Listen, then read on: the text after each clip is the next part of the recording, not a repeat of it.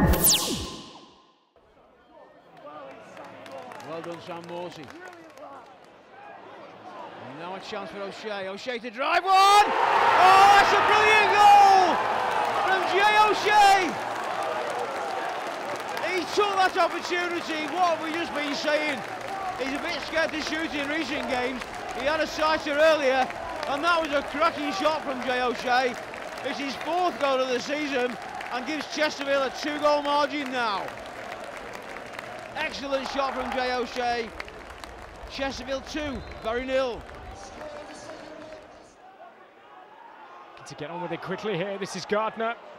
Try and flash it across. How on earth has he managed to squeeze it in there?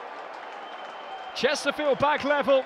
They got on with it quickly. Roberts in towards Gardner, and he has smashed it into the net beyond Duke. Oh, it's awkward.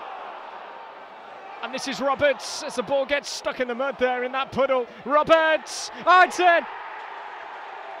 Terrific technique. Gary Roberts gives Chesterfield the lead for the first time this afternoon.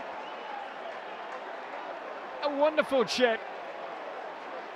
And the elements playing their parts, but take nothing away from Gary Roberts. That's brilliant.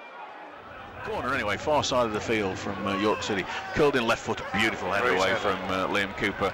Flicked towards Gary Roberts, who was uh, uh, the only man left up, and it's now with Gardner, who passes the halfway line. He's got Jimmy Ryan in space on the right hand side. If he can slip it through to Ryan, it's still Gardner. He's put it through to Roberts. Roberts and Ryan together. Oh, goal! Gary Roberts scores. What a superb goal. It was a break from Chesterfield's own conceded and the ball fell to uh, Gardner.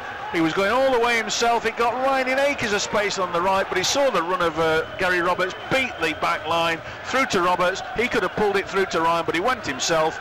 He uh, has scored the goal. He'd seen the goalkeeper save earlier on, but it's now with 39 on the clock. York nil, Chesterfield 2.